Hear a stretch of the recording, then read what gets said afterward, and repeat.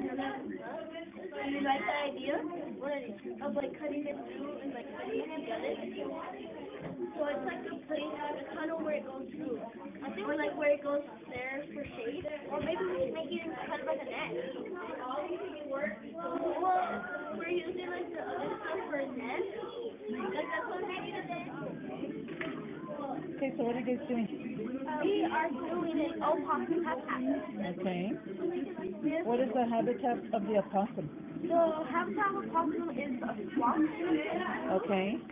So we have some rocks, some leaves, and a rock. Yeah, and this is like the the in, the habitat. Probably. We're doing um, we're doing a tree A habitat for what? For what's it? Yellow belly. We have to do the animal too. And we're we have figured out that we were gonna do the trees like this quicker. Okay. So what is the habitat for the yellow-bellied llama? It's like a forest kind of like with like trees and then like Okay. All right. What are you doing, Mario?